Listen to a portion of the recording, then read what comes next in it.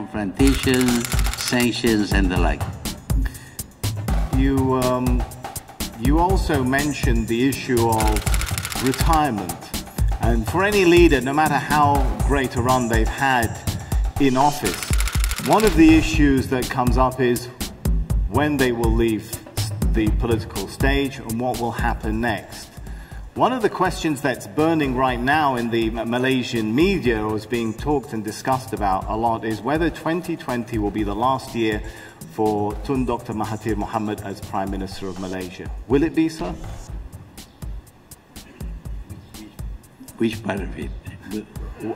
Will 2020 be the year in which you decide to exit the office of Prime Minister? Yeah.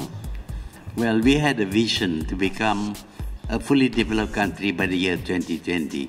Unfortunately, after I, stepped down, the leadership took a different course, different uh, policies, and that caused the, the uh, target not to be achieved in 2020. So what we have settled for is that we will uh, still try, but we have moved the accomplishment date from 2020 to between 2025 and 2030.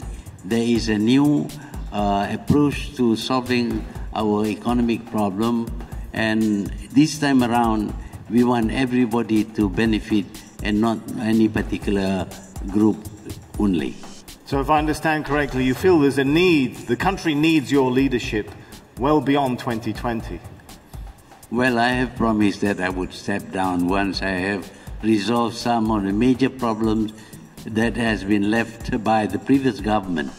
Uh, I promise that I will step down and give uh, the leadership to, uh, well, a candidate that has been name, named by the uh, coalition. Okay, we've just got a minute left, so I want to ask you a final uh, point. Do you think the uh, leader of the ruling coalition, Anwar Ibrahim, is the best person to take over at some point? Would you endorse him?